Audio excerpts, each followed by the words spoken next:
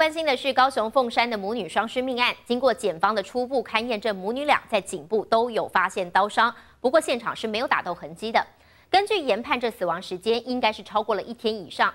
只是很离奇的是，连两天以来，这妇人的先生同住一个屋檐下，怎么会没有察觉呢？死者也没有留下遗书，并且这对夫妻呢，其实教养孩子有方，十七岁的女儿全校成绩排名第三。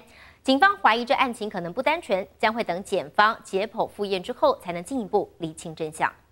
大楼里发生母女双尸命案，附近民众难以置信。早餐店老板娘直言，李姓男主人生活规律，脸上却很少有笑容。我我我是觉得不是很开心的。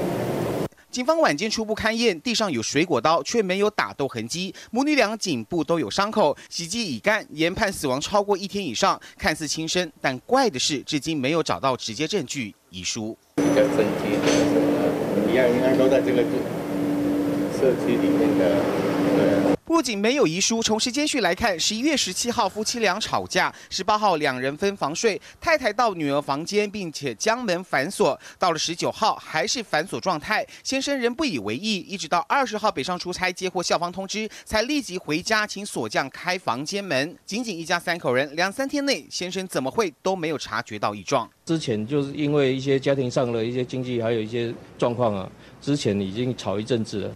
警方通过大楼监视器调出先生的上下班行踪，初步吻合讯问时的说法。检方并没有将他列为嫌疑人，究竟是他杀还是轻生？死因还有待解剖复验后才能进一步理清案情。这记者张崇敏高雄报道。